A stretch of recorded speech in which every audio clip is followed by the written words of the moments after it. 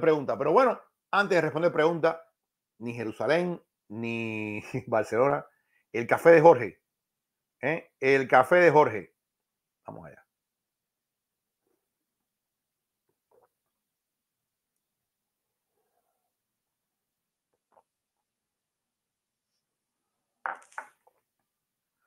Esta es una buena pregunta. Diego Solís, Ebro, pero podría ser también Arman contra Chandler. Creo que la UFC debería compensar a Michael por tanto tiempo de espera. Sí, tiene razón. Tiene razón. Pero no sé. Creo que una pelea Chandler y Sarukian no generaría tanta expectativa como la revancha de Sarukian y Oliveira. Puede pasar, Puede pasar. Lo otro es que Shana lleva tanto tiempo fuera, tanto tiempo fuera, también viene de una derrota. No sé. Puede pasar, pero no lo creo. Carlos, Ebro, ¿crees que Merá tendrá una buena excusa si pierde? Espero que no. Espero que se entregue por completo y que dé el máximo contra O'Malley. Espero que no tenga excusa. De verdad que no. Dice Gigi Euro, la pelea a hacer es León contra Gary. Es el camino para llevar a Gary al título. Alguien me dijo que lo que hay que hacer es eh, no, eh, Gary contra de la Magdalena. Gary contra de la Magdalena. Vamos a ver qué, qué es lo que hacen ellos, cómo mueven. Dice Franco, Euro, ¿no crees que Sarukian cometería un error al pelear en diciembre, ya que luego tendría que pelear contra el ruso antes del, Ramadán. Eh, todo depende de la mano. Todo depende de la mano. Yo todavía no he escuchado el reporte definitivo, pero evidentemente, mira, lo que sí te puedo decir es lo siguiente. La pelea la querían en octubre. La pelea la querían en octubre. La pelea la querían en Abu Dhabi. Eso te lo puedo decir con todo conocimiento de causa. Ese es el, tiempo perfecto para la pelea. De hecho, recuerda, Sarukian es penalizado y le dicen que haga un video contra el bullying, porque Sarukian va y se faja con este fanático. Bueno, y él iba a hacer el video para que le permitieran pelear antes. Pero él dice, si la pelea es en diciembre o el próximo año, no voy a hacer ningún video. No voy a hacer nada de eso. Cosa que me parece un error. Yo creo que siempre por una causa del bullying es una buena causa y hay que hacer esas cosas. Pero bueno, es lo que dice eh, Sarukian. Es lo que dice Sarukian y hay que respetarlo. Todo depende de la mano y, y de lo que pase con esta gente. Claudio, ¿supiste que Nakamura venció dos veces al medallista de oro de París 2024. ¿Crees que será el único que pueda vencer a Umar? No sé. Habrá que ver. No siempre ser un buen amateur o ser un buen olímpico se traduce en ser un buen profesional. No sé. Toscano, gracias hermano. Primero que todo, gracias porque eres parte de la familia, qué fiel me alegro mucho que sea siendo parte de la familia Toscano. Dice, Ebro, eh, eh, para ti, el regreso de que, el regreso de qué God fue mejor, John Jones contra Game, GSP contra Bisping o el regreso. A ver, yo creo que, creo que históricamente, históricamente, George St. Pierre había mucha expectativa, mucha expectativa. San Pierre había estado fuera tres años. Eh, Bisping era el campeón. Jane no era campeón. Creo que yo, San Pierre, era más importante. La mía no es nada. Gracias, Toscano. Carl Rush. Ebro, de 10 peleas, ¿cuántos crees que ahora que le gana Whitaker a Duplessis? Yo sigo creyendo sigo creyendo que Whitaker es mejor que Duplessis. Sigo creyendo. Ahora, Duplessis. Hombre, Duplessis le vino como Aníbal Dedo eh, el Real Naked Shot ese y que Adesanya se, se quebró mentalmente. Adesanya para mí eh, estaba haciendo una buena pelea eh, y creo que Duplessis se estaba cansando. Yo creo que como artista marcial, como artista marcial, Whitaker es mejor. Pero no le niego el, tema que Duplessis luce feo, pero gana las peleas. Pero si digamos que de 10 veces le gana 7. ¿Ok? Chandler no pelea, debería pelear con Fisiet. Yo de Fisiet no acabo de escuchar nada todavía. Esa es una buena opción. Esa es una buena opción. Fisiet tuvo dos operaciones. Yo todavía no escucho nada que me digan que, que está ya para volver.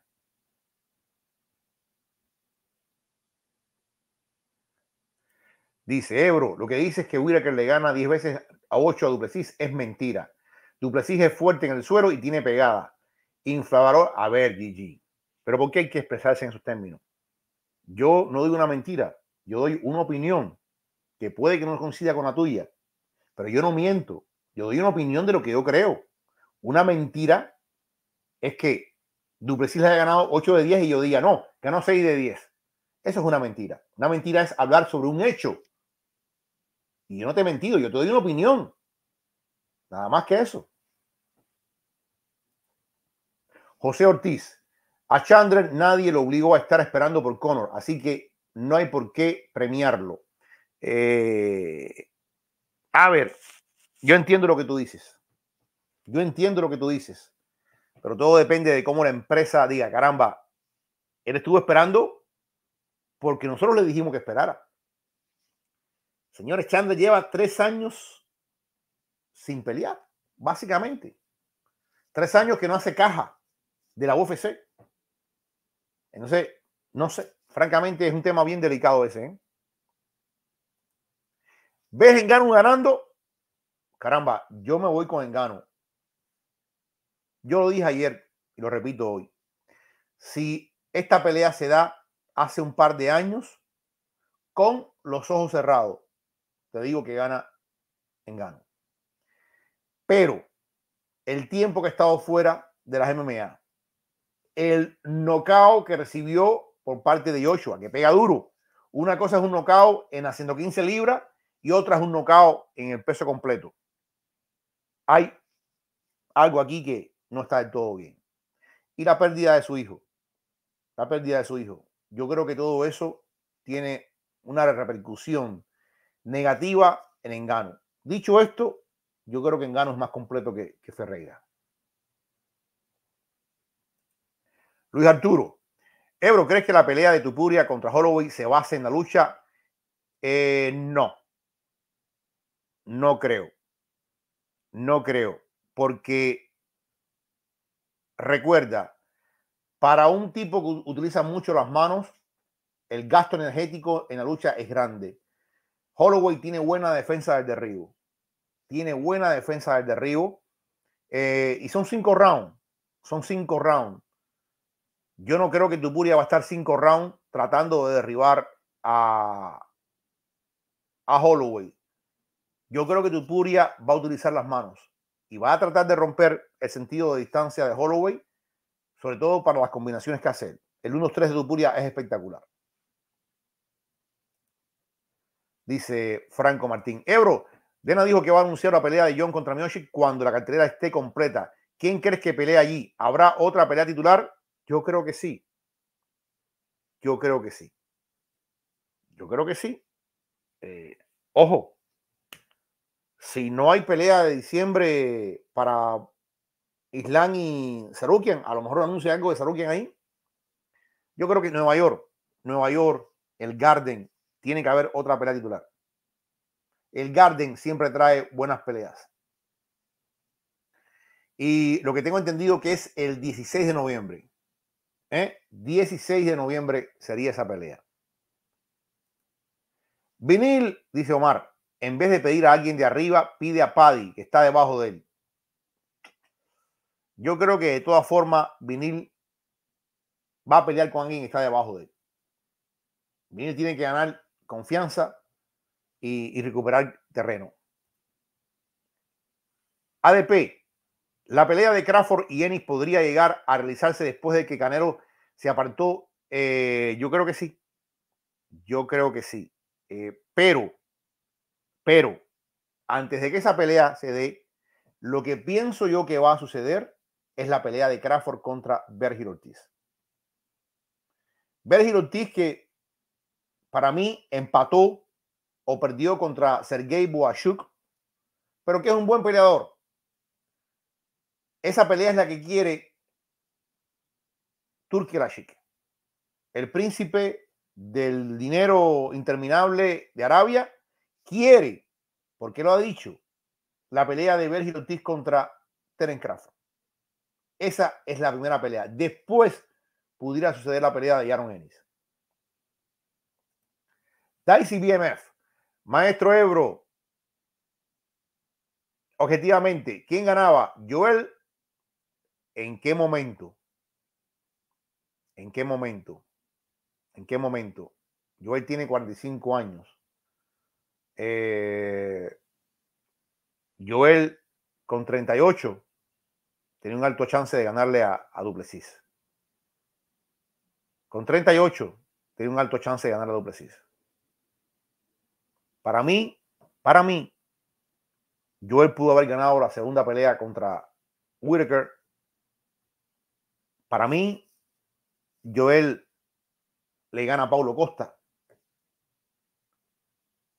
Y uno puede decir también que Joel pudo haber ganado hasta Desaña. Eh, no quiero aquí sonar como que, ah, el cubano este. Pero a Joel le dieron la mala un par de veces ahí en la UFC.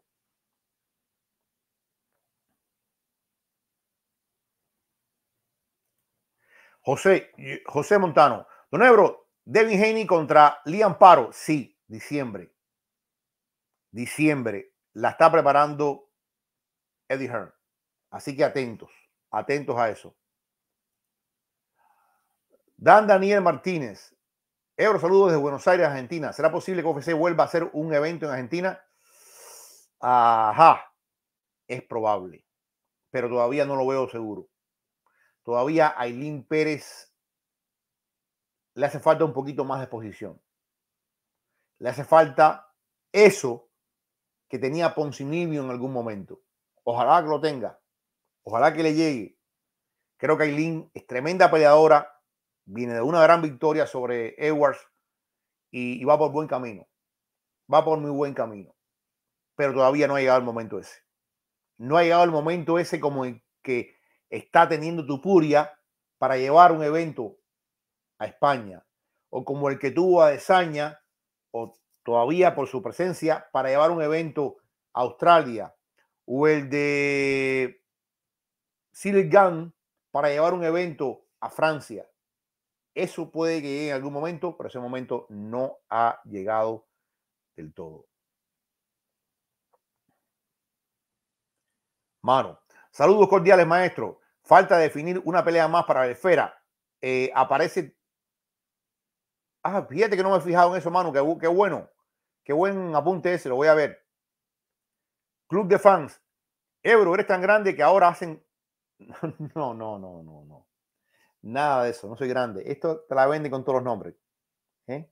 Te la venden con todos los nombres. Nada más. Hombre,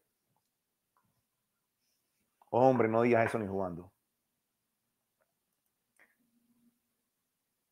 Ya, eso tengo ya.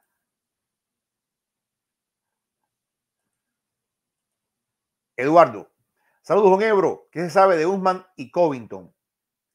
Covington, lo que me han dicho a mí, lo que me han dicho a mí, Covington está involucrado en el tema este de la campaña electoral de Donald Trump él no está muy, muy apurado por pelear. Es lo que me han dicho a mí.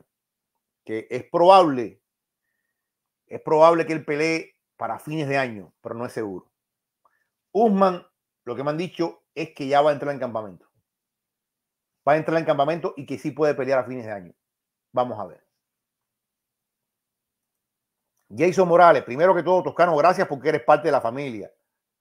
Eh, espera, ahora voy contigo, Toscano. Jason Morales también. Don Euro, puñal en el pecho. Aileen Pérez contra Mackenzie Dern. ¡Wow! Qué peleón. Qué peleón.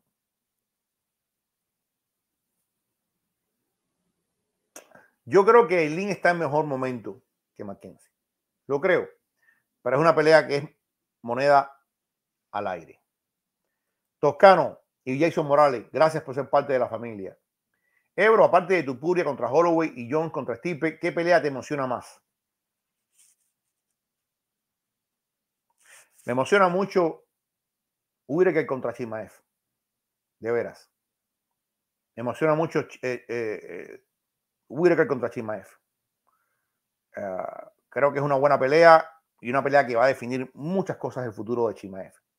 Si Whitaker le llama a Chimaev, adiós hype. Adiós hype. Claudio. Orobay contra Rebeki se anunció para UFC 308. Orobay parece un Khabib 2-0, por cierto, ahora que ya no está UFC top, deberías invitarlo. Eh, caramba, yo eh, lo voy a tratar de invitar, tienes razón. Lo voy a tratar de invitar. Gran amigo, gran amigo y un gran chileno. Lo quiero mucho, mucho, mucho, mucho, ¿verdad? El romano. Ebro, es cierto que tu peleador favorito es Robert Whittaker. Te lo pregunto con siempre. Eh, sí, es un peleador no favorito, yo no tengo favorito. Te lo digo con toda, con toda honestidad. No tengo favorito, pero es un peleador que yo respeto mucho. De verdad que es un peleador que yo eh, respeto mucho. Creo que es un tremendo, tremendo peleador. Pero no, así favorito yo no tengo ninguno. Cat Rush. Ebro, ¿ves que te dije que a Poatán le darían a alguien de puestos abajo en la 307? Solo que se fueron todavía más abajo en el ranking de lo que pensé para mí es francamente un enigma. Un verdadero enigma.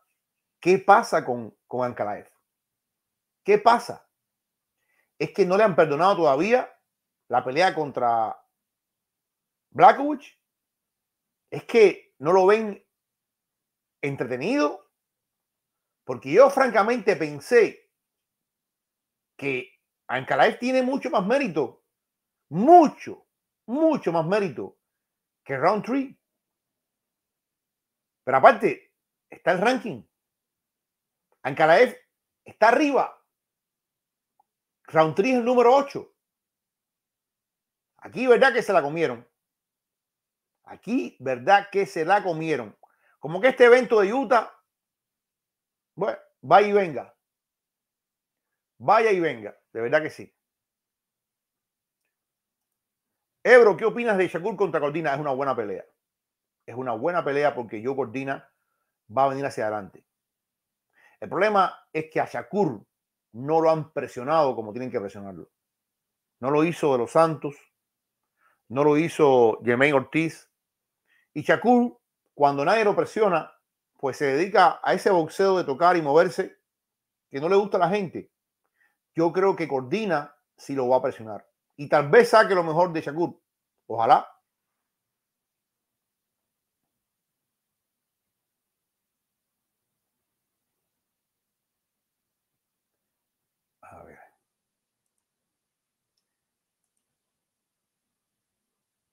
Paulo Max, 6-7. Ebro, tomando en cuenta que en algún momento Canelo quería pelear con Usyk, ¿en cuántos rounds acabaría? Tyson Prime Tyson Prime. Tyson Prime. Si Tyson está en el peso completo y Canelo viene subiendo de supermediano, tercer round. Tyson Prime, tercer round. MMA Souls, Euro puñal en el pecho, de tres peleas Prates contra Yad de la Madalena, Jan Silva contra Diego López y Cayo Borrayo contra Imabov. Ajá. Me voy con Yad de la Madalena. Me voy con Diego López.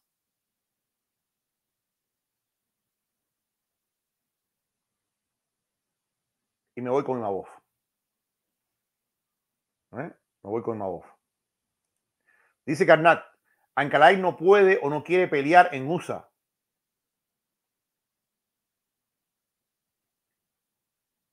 Eso tengo que averiguarlo. Tengo que averiguarlo. Es verdad que Ancalaev se hizo en ATMAT. ATMAT es la liga que creó el papá de Kadyrov. Pero no sé hasta qué punto, no, no, estoy muy, muy, muy eh, seguro de eso. No quiero hablar sin, sin tener una base. El tema es que Poatán dice que le ofrecieron una pelea a Ankalaev. Ankalaev dice que eso es mentira, que nunca se la ofrecieron. Yo creo que al final es una pelea que, que se va a dar. No sé en qué momento, no sé en qué circunstancia, pero creo que se va a dar esa pelea sin duda alguna. Dice Patricio, Ebro, ¿qué viene para Paddy? Por, fin se, dignará eh, bueno, Moicano pelea en, París ahora. Moicano pelea contra Benoit Saint-Denis, la estelar de París. Yo creo que le van a dar a alguien antes de, de, Moicano, evidentemente. No sé a quién le pueden dar. Ah, ojalá que no siga engordando tanto como hace entre pelea y pelea. De verdad que sí. Franco, Euro, ¿cuándo crees que pelea Duplessis contra Strickland 2? Pregunto porque Dena prometió que va a ser en Sudáfrica. Si va a ser en Sudáfrica, no es este. Eh, a ver, mira todo lo que ha pasado para hacer la pelea en España. y todavía no es seguro. Imagínate hacer toda la infraestructura para hacerla en Sudáfrica. Si la hacen en Sudáfrica, definitivamente definitivamente sería en algún momento de la primavera, verano. Primavera, verano. Porque es, es complicado siempre cuando haces un evento en un lugar fuera, pero más sobre todo cuando lo haces en África, y Sudáfrica es un país que tiene muchos problemas.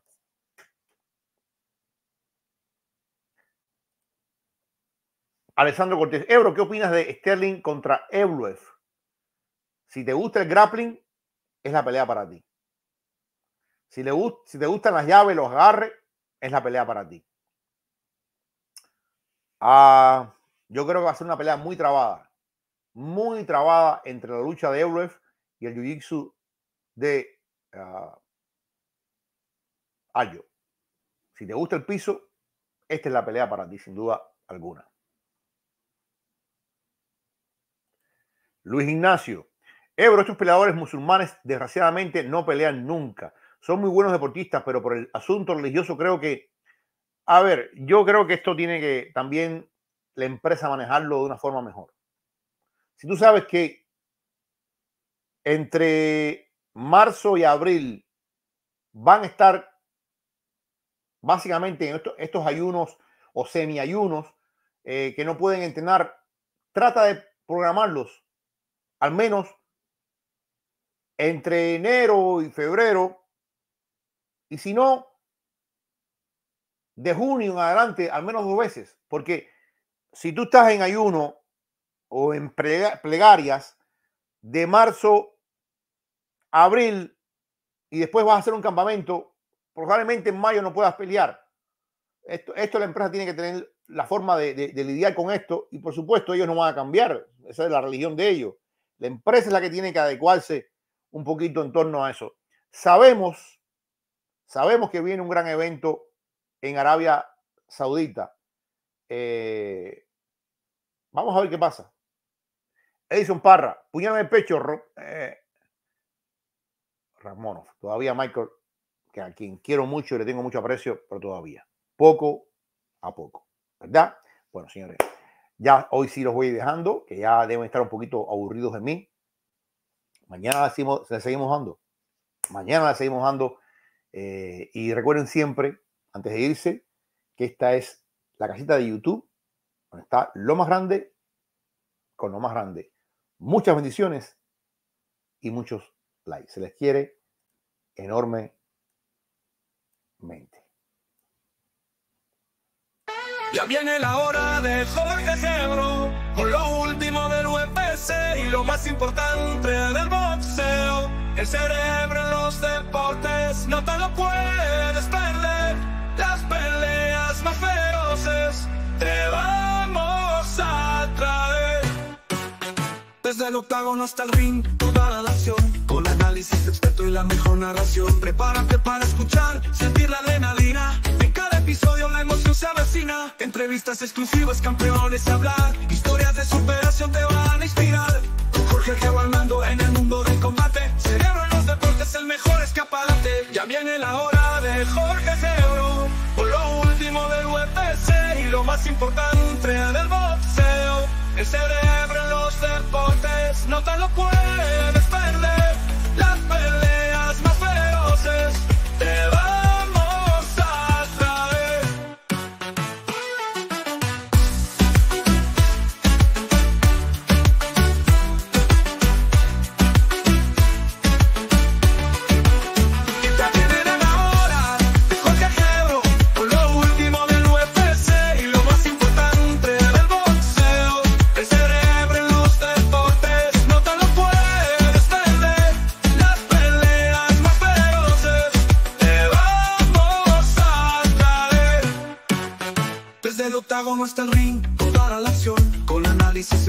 la mejor narración. Prepárate para escuchar, sentir la adrenalina. En cada episodio la emoción se avecina. Entrevistas exclusivas, campeones a hablar. Historias de superación te van a inspirar.